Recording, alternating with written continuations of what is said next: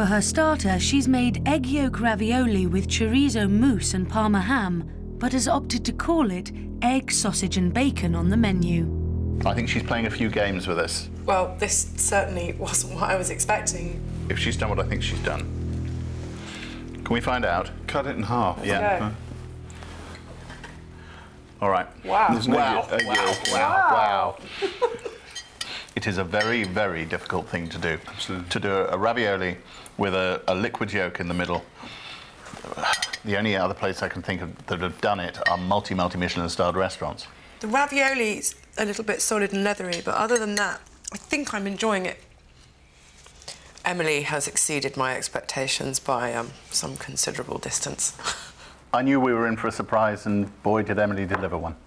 It is an ostentatious display of skills. Mm-hmm. I mean, it's real showing off food.